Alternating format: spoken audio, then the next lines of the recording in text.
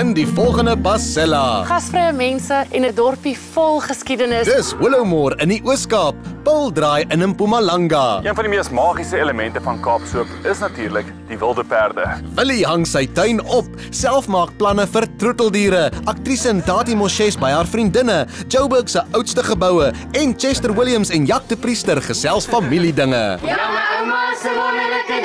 Dis Pasella, Woensdag aand 7:30, SABC 2.